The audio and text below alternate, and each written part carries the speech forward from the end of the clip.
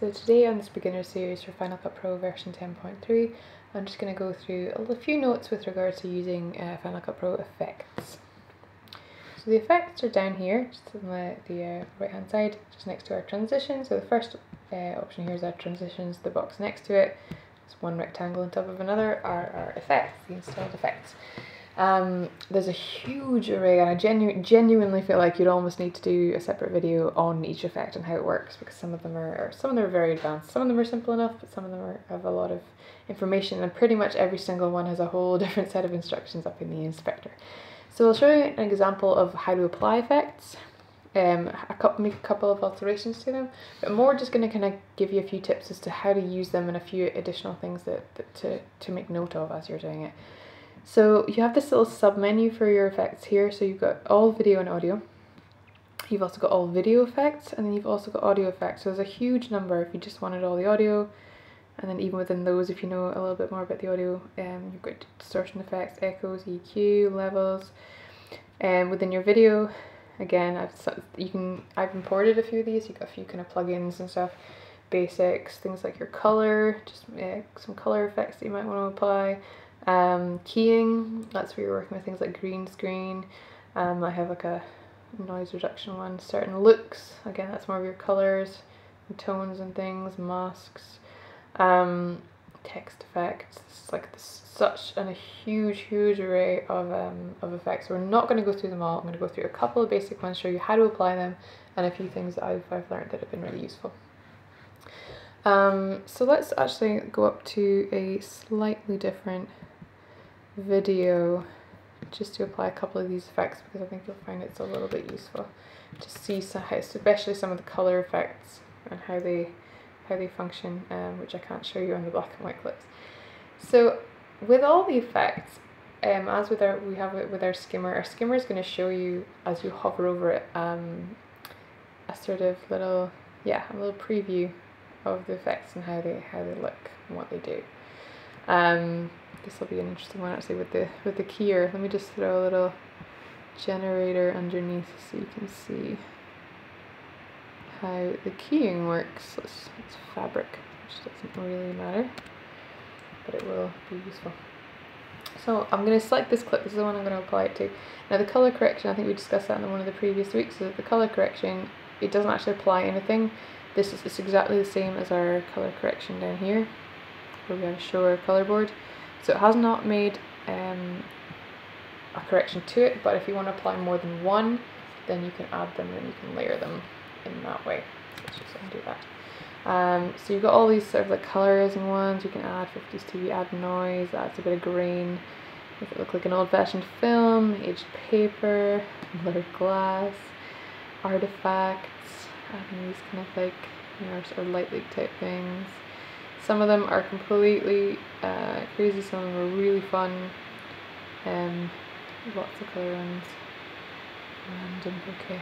So that, yes, it's a lot of, a lot of the effects are sort of colours and things, but there are also some really, really useful ones. Cropping ones, letterboxing. Um, so let's start just with the 50 TV first of all, because it's, it's a nice simple one to use. Um, so the way of applying your effects can literally just be a drag and drop. So if I drag this effect and just drop it right on top of the clip, it's going to apply it exactly as it would. So shear showing it just needs a little bit of rendering time. Once you've applied any effect, it appears up in your inspector here in the video portion under effects. So the first one I have already here is color correction, so I've already applied that to my clip. And underneath that then we have our, our 50s TV. Um, now this one is a very simple effect, it's not very much to do, so it's just basically the amount or the brightness so you can decide how bright you want that to be and how much that's been applied. So if you don't have very much to apply, it starts to apply a little bit by bit. There's a variety of different effects. That's very extreme, that's really, really high con very high contrast. Quite cool though. Um, if you have applied an effect, there's two ways of taking that off if you decide you don't want that. One is just literally to disable it. So if I click this little tick here, it's not active, it won't export, it's like it's not there. But it's still there if you decide, no, actually I do want it back, and you can just retick it. If you decide, absolutely not, I do not want this effect to be there at all, you literally just highlight it so the entire box is highlighted in yellow, and just hit the delete key, and it will trash it, and it's gone. never to be seen again. So you've got those effects that you can use. So let's just add another one to show kind of the range of uh, um, manual features that you have. This one's quite an interesting one. If I grab my aged film and drop it on top. Now you can see here this is a completely different set of instructions and it's very varied. So the amount here right now is 100. You might decide you want it to be a little bit. Different types of grain you can kind of work with. Um, how many scratches appear on the screen, so that's these lines. I, I'm not such a big fan of those. I tend to take those out and work more with things like dust and kind of hairs that you add to the screen. So I play that. You might be able to see. Kind of just gets them looking a little dirtier. Focus variance, it'll go in and out of blur. Jitter amount. It's just color variance. So I'll just play that now. Get a little moment to render because it's kind of freaking out the amount of instructions I'm giving it. There we go. Let's just play that there.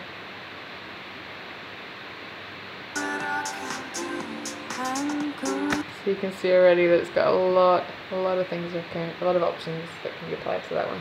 Do that one again. So down to here then, a couple of sort of useful ones that I've found to be quite funny. Things like letterboxing uh, can be really useful. Drawing masks can be useful for adding things to, but um, where's my, yeah, frame, well frame's are a bit more ornate sometimes, but um, graduated mask, highlights, letterbox. So letterboxing, if I drag this effect on top of my clip here, um, no, this actually, let's just read this so didn't, can't see that. So you can see already, this particular letterbox, tiny, tiny little variation. So your aspect ratio, if you go here, you can apply different types of letterboxes. If I go one to one of these huge, the extreme ones, that's quite an extreme letterbox. Super, super widescreen. Some of your standards are around about 185 and 135. They tend to be the ones that people use most of the time for that kind of like filmic widescreen like. Kind of want to work with that.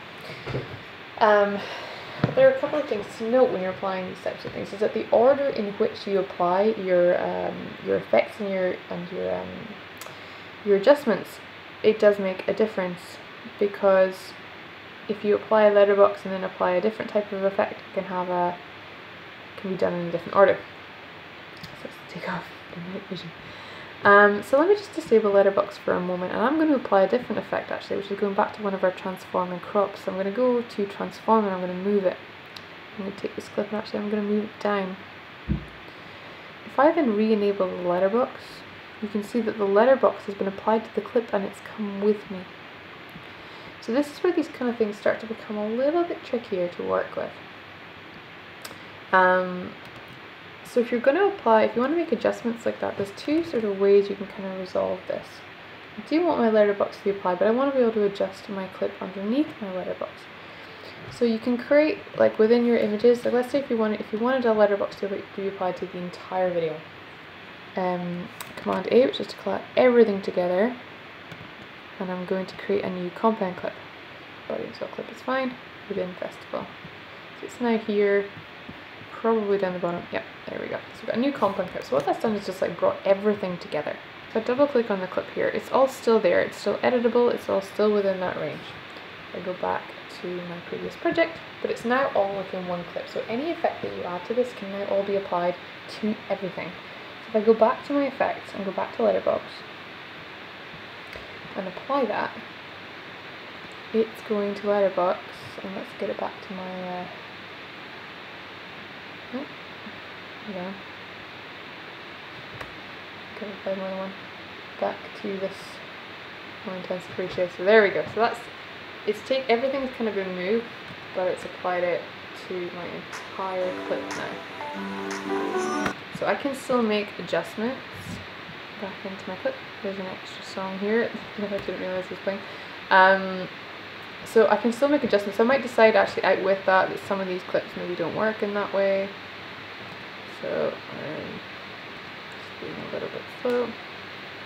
So like this clip for example, she's kind of a little bit out of the out of the shot. So I'm like, sorry, nope, I'm gonna go in there. And I might bring her clip not quite as far down because she's already quite far down herself. So I'm to go back to transform, bring her back up, maybe even more like that. Maybe I want to see, see more of her and then go out. and observe. There we go, that looks a little better.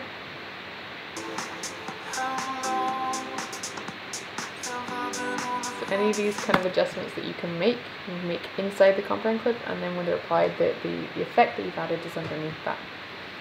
Similarly again you can apply, like if I apply, what's my, um, there's a tile. So if I add a tile on top of this one here, what it's done is it's created a tiled version that is the letterbox of everything. So if I then take this tile actually and move the direction of it, see how it has a completely different effect. And the reason that that's changed is because the tiling portion has been applied to the letterboxed version of the clip. If the tiling is underneath, the if I undo the letterbox, the tile has basically been applied to the video, and then the letterbox has been applied on top of that. So the the order that the clips are applied is, is weird. I'd normally have it on top, like thinking the one on top would be the one that's applied, like layering in the same way the video does, but they have it the other way around. So the one that's underneath is the one that's on top of everything. So if you apply letterbox first, and then tile that, it's going to tile with letterbox. If you bring the tile underneath, the tiles first, and then letterbox is that version. So the, the, um, the order in which you apply the effects is it has an impact and it actually makes a difference as to how your clips are viewed. So it's just kind of something to note. So there's just a few a few different um, elements to be aware of. So grouping things into a compound clip can be sometimes be quite a good way to apply uh, an effect to everything. Um, if you literally want to apply to your to your entire video and you want everything to have a particular look, the whole video the scanner skill. See that's an interesting one as well, the heat one. So this is a color correction and as you can see it's applied the color correction over the letterbox as well. So if you didn't want that, so it's turned it's actually turned my, my letterbox orange. So if I bring the heat underneath the letterbox, it's applied the visual colors to my video but not to the letterbox. So the order in which the effects are applied is um, definitely has an impact on how, how they how they look. Um, the audio effects I'm not going to go into a huge amount. The ones I kind of tend to use most, it, it can be quite fun, quite fun and quite creative for um, uh, spaces, for example. It, it, works in exactly the same way. Let's take my audio track and um, vintage radios.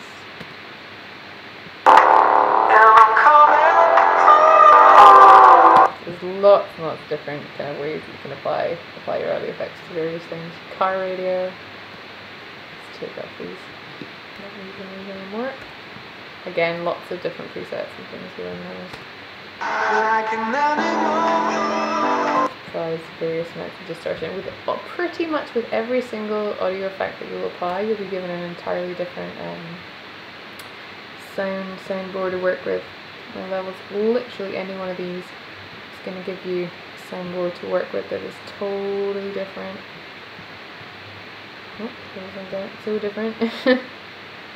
extra my echoes ones. Uh, so you get uh, like every effect has a totally different soundboard. So if you're if you're familiar with working with sound and want to want to play with those, there is a huge range to work with. Same as with all the effects. Actually, there's one more effect I wanted to go into briefly, which is just to show you the keyer. Uh, where did I apply this one? It's my fabric. So we have these lovely uh, keying effects, which is where you work with um, essentially you can do the, the sort of green screen idea or you can have your kind of luma keyers. So I wonder if you're showing through it's the one I want to apply it to. Okay, and it hasn't applied it by default, which is interesting. So let's just take my keyer over actually and drop it. There we go. So that one there you can see it's taken the fabric that's underneath. And it's keyed out this image here your keying effect, it's an interesting one, you can have a lot of, a lot of fun with that. Um, it hasn't quite worked the way I wanted it to. So you can take that sort of down do your sample color option. There we go. So if you wanted like her, this is the way you work with things like green screen. So instead of her cape being made of what it was, it's being made with my fabric, or it just looks black. I take another generator underneath, Let's try metal. So I'll take my metal and have her wings made of that. See how that looks.